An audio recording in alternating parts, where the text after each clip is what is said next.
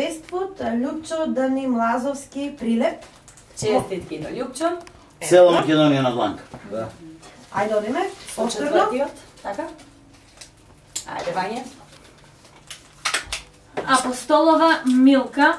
Немаме град, меѓутоа Имаме телефонски број од Да, апостолот. и телефонски број и сите добитници на подароците се веќе на фан страницата на Facebook, така Ајде уште еден. И Ангела уште Ајде.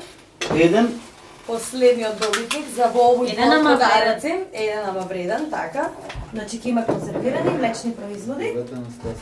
М, Свети Николе, следниот подарок оди во Свети Николе кај Виолета Анастасова. Еве Еве да се регистрираме и тоа. Сите добитници своите имења и презимења можат да ги пронајдат на Facebook Карал.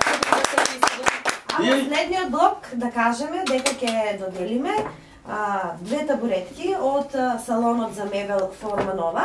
За супер Долгогодишен соработник на Канал 77. Потоа имаме соларен систем од Теко Солар, Струмица.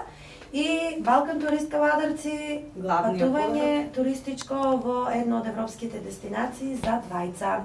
Значи ќе имаме уште четири подароци, малку повредни, а во меѓувреме сите вие кои што учествувавте, а не добивте досега, значи очекувате можеби токму вашето име ќе биде прочитано. Ќе ми се насмевне среќата. Реклами на радио во продолжение Македонија, не минувајте ги фреквенциите, останете заедно со нас, бидејќи имаме уште подароци за подолување.